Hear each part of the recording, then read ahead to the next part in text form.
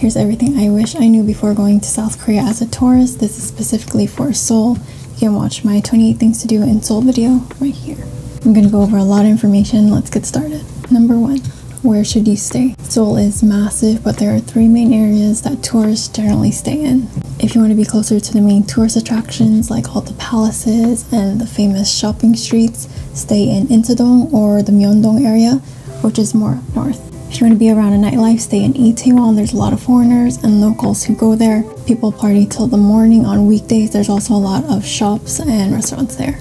For a busy but chiller vibes, stay in Hongdae, which is known for being the youth and music, arts, indie culture area. There's a long walking street with tons of cute cafes, restaurants, and music performances. If you're staying longer than a week and don't mind moving hotels, try staying in two or three hotels in different areas just to experience different parts of Seoul. This is what I did. But for first time tourists, I recommend staying in the Insadong or Myeongdong area just because it's closer to the main tourist sites. English is not widely spoken in South Korea. It's best to learn some basic phrases if you're just visiting. You can also use a translation app like Papago or Google Translate. In non-touristy areas and restaurants, menus may not be in English, but you can use those apps to scan the menu and then it translates it to English. Here are just 9 phrases that I recommend you learn and what I use the most. Hello. 안녕하세요. 안녕하세요. One please, or just like one person, or one of this. 하나 주세요. 하나 주세요. Sorry. 죄송합니다. 죄송합니다. Thank you. 감사합니다. 감사합니다. No. 아닙니다. 아닙니다. Yes. 네. 네. No thank you or it's alright. 괜찮아요. 괜찮아요. How much is it? 얼마예요? 얼마예요? I don't speak Korean. 한국말 못해요. 한국말 못해요. I use that phrase so many times. Just remember we're visitors, we can't expect locals to know English or speak to us in English.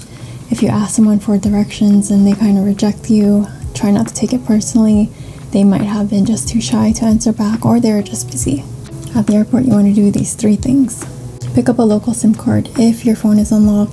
You can buy one at the airport or pre order one on Klook.com. 10 days is about $20 USD. Get some won, which is the currency in Korea. Credit cards are widely accepted in Seoul, but I get backup won just in case. And for like food stalls that only accept cash. In general, the ATM offers better rates than exchanging at the airport, but do whatever is easiest for you. Lastly, buy a T-Money card. You can buy one at the airport or at any convenience store. It's about $2 USD. It's a card you can use to pay on trains, buses, convenience stores, some supermarkets and restaurants, even some taxis accept it. And you can use it throughout South Korea, not just Seoul. But if you don't want to get a T-Money card, you can just buy paper tickets at the train station. It takes about one hour to get to Seoul from the airport. You can take taxi, train, or bus. The first time taking public transit in a new country is nerve-wracking, but it gets easier and signs and ticket machines are in English.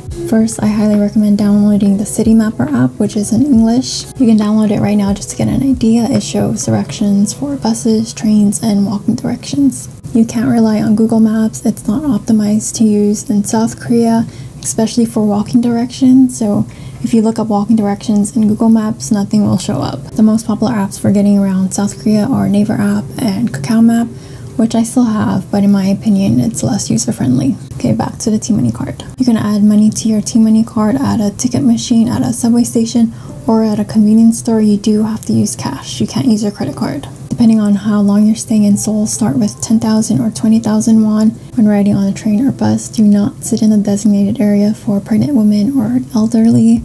This is not the US. And last thing about train stations, escalators and elevators are not common.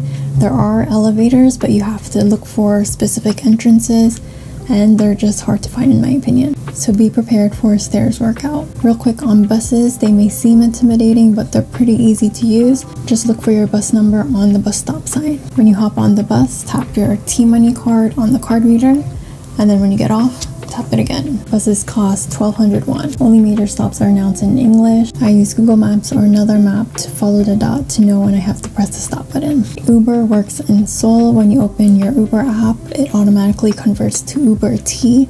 Your payment information is already saved in there, you don't have to pay in person. If you do have a local SIM, you can download the Kakao T app, which is the main taxi app in South Korea. If you're a foreigner, though, you can't link your credit card to the app you'll have to pay in cash in person. Kakao taxis are more available in South Korea. You just might come across a language barrier if the driver can't find you. There's a lot of Uber drivers, but sometimes it does take a while to find one. Tipping for taxis is not common. Okay, moving on, what to pack. Here are a few essentials. South Korea uses a specific plug outlet type. It's not the same as the US. You'll have to get the plug type F, which is similar to a lot of European countries.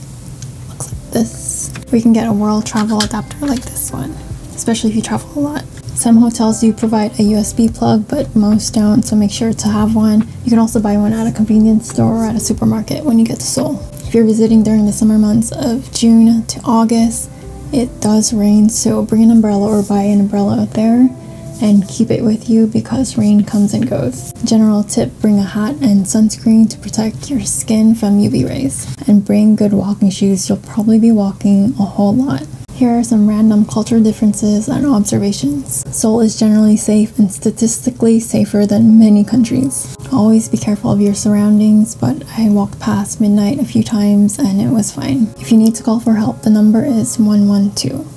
Most of the restaurants I went to were self service, which also meant returning your plates and cups to the counter and clearing out any napkins on your table. If you're unsure, just look at what other people do, which is what I did a lot. Usually pay at the counter and tipping is not common at all. Okay, for those going in the summer, it gets really hot and it rains.